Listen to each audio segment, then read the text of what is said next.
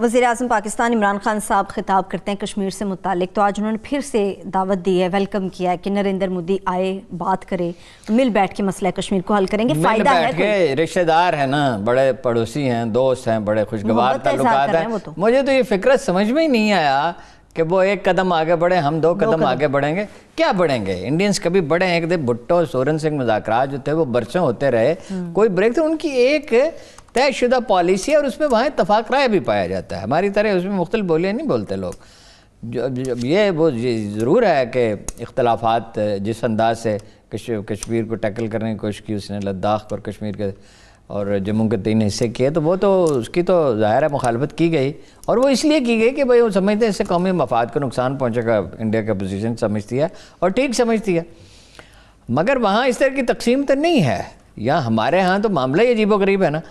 वो तो track to मुजाकर में जो लोग शामिल रहे उनमें कई अखबार नवीस भी शामिल थे। वो कहते हैं अपनी पोजीशन से ज़रा बराबर पीछे हटने के लिए तैयार नहीं नहीं। एक पहलू तो है ये। ठीक है। वो देखे ना अलीहदगी की तहरीकें जब गिलगित बल्तिस्तान पे आते हैं तो बात करते हैं पख्तूनख्वा की जी एस सिंध की बलूचिस्तान की गिलगित बलहज तहरीक की उन्होंने मदद करने की कोशिश की। ठीक है। तो वो एक कदम क्या आगे बढ़ेंगे? ये general chief of army staff ने भी कहा कि कश्मीरियों के मंगों के मुताबिक मसला हल होना चाहिए। लेकिन भाई वो तो ज़रा सी रत्ती बराबर जगह आपको देने के लिए तैयार ही नहीं है। ये सिर्फ़ सफारती पॉइंट स्कोरिंग कह सकते हैं। कोई कमिटमेंट नहीं है कहीं मुझे नहीं नज़र आती। बात यह है अगर आप करना चाहते हो दो ज़ुबानें हैं बुनियादी तौर पर आलम इस्लाम की। अरबी और फ़ारसी। अफ्रीका के कई मुल्कों में सूडान में अरबी बोली जाती है। और और कई मुल्कों में भी। ईरान अफ़गानिस्तान सेंट्रल एशिया ये सारा फ़ारसी समझता है। उज़्बेकिस्तान ताजिकिस्तान हाँ। तुर्कमानिस्तान ये सब मुल्कों में फ़ारसी बोली और, और ये लिटरेचर की लैंग्वेज यही है।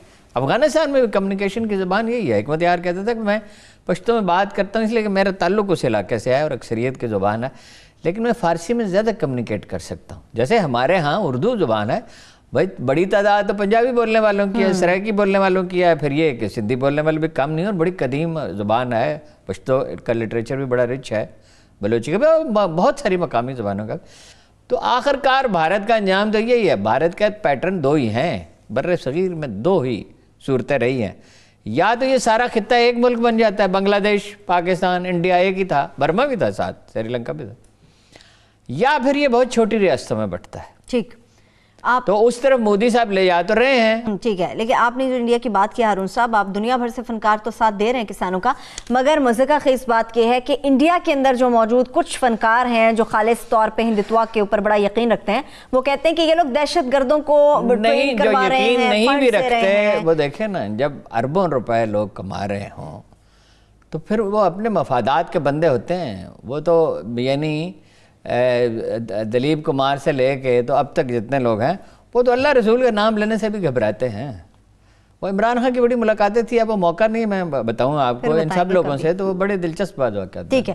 आपने जमात इस्लामी की साहब बातें की नून लीग हो पीपल्स पार्टी जमात इस्लामी या दीगर अपोजिशन की जमातें हैं तमाम की तमाम ने कश्मीर के जो ऊपर है आज जो जो बातें की इवन की जमात इस्लामी ने वो सिर्फ़ इमरान खान साहब के ऊपर कंधों पर बोझ डाला कि इमरान खान ने उनके खिलाफ बात की उन्होंने उनके खिलाफ बात की। खुदा के बंदो हाँ। ये एक दिन के लिए खामोश नहीं रह सकते। एक दिन जरा कम तनकीद करते करते हैं फिर भी करते। उन्होंने कहा, इमरान खान ने कश्मीर को बेच डाला। उसने कहा, इन्होंने बेच डाला। तो वो अपना किस धड़ल्ले से, वैसे जी मुबालगा करने में सख्त लफ्ज इस्तेमाल नहीं करता, मरियम सानी कोई कम पैदा होगा, मोहतरमा मरियम नवाज़ का। उनका दिल कश्मीरियों के साथ धड़कता है। वो तो नाम नहीं लेते थे। इंडिया का कलभूषण का उसका वो जो बलोचिस्तान से पकड़ा गया था उसका किसी का नाम नहीं लेते थे।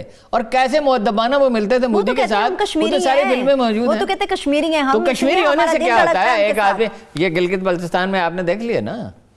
अब लोग तायब हो रहे हैं। क्या बलोचिस्तान के बाद लोग शामिल नहीं थे? वो इंडिया की बालादस्ती जो इंटरनेशनल इस्टेब्लिशमेंट का एजेंडा वो तो नवाज़ शरीफ साहब ने तस्लीम में बगैर वीजे के इंडियंस आते थे। रमज़ान शुगर मिल में इंडियन थे। इनके घर पे ठहरते थे ये इसकी तरदीद करें। उसके नाम लोग नाम बता देंगे उनके। हम्म? ठीक। लेकिन कुरैशी साहब ने फिर शाह महमद कुरैशी साहब हमारे वजी खारजा उनकी बात भी करनी चाहिए। उन साहब उन्होंने फिर ठीक नहीं कहा कि खुद तो तीन तीन हुकूमतें की आज हम ताने दे रहे हैं कि हमने कश्मीर का सौदा कर दिया। खुद इन्होंने क्या किया? कुछ भी नहीं किया। किसी ने सवाए जमात इस्लामिक। कश्मीर को लेके क्या पाकिस्तान अपनी ज़िम्मेदारी पूरी कर रहा है? और दूसरा कश्मीर तहरीक आज़ादी का मुस्तकबिल क्या है? नहीं मुस्तकबिल तो देखिए अल्लाह के हाथ में है ना। और खुदा तो कोई कुर्बानी कभी ज़ाहिर नहीं करता। तहरीक लंबे अलजायर की तहरीक आज़ादी बहुत लंबी हो गई। चिचड़िया ने आज़ादी हासिल कर ली, मगर फिर मतलब महदूद आज़ादी उन्हें मिली। एक हद तक तो आज़ादी अब भी है। अमल खल तो नहीं नाराज़ तो वो हैं, और वो रूस में भी कभी जब मौका मिलता है तो एहतजाज की मुख्तलिफ़ इंतहाई शक्लें भी इख्तियार करते हैं। अलजायर की तहरीक आज़ादी तवील अरसे तक जारी रही थी। ये तो अल्लाह ही बेहतर जानता कब होगा। लेकिन बहरहाल उस रास्ते पे तो मोदी ने इंडिया को जिसमें बाहर हाल इंडिया को तकसीम तहरीक आज़ादी का मुस्तकबिल बयान करें वो क्या देख रहे हैं आप? मैं तो अर्ज़ किया ना कि कभी ना, ना ऐसी तहरीकें जिनमें इतनी कुर्बानियाँ दी गई हों वो नाकाम नहीं होती। देखिए वो तो कश्मीरी तो अलग हो चुके ये तो 90 में पहला आर्टिकल मैंने पढ़ा था 89 या 90 में एक इंडियन अखबार का। इंडियन अखबार आते थे यहाँ वो जो क्या समझौता एक्सप्रेस से इंडियन अखबार और मैगजीन आते थे। Paradise last. गिलगित बल्तिस्तान के हवाले से अरुण साहब बात करते हैं। भारत मुसलसल वहाँ पर अपना नेटवर्क बढ़ा रहा था। अब जब मकामी लोग वहाँ पे कन्फेशंस कर रहे हैं उसके बाद हुकूमत का रद्द और इकदाम क्या होने चाहिए आपकी नज़र में?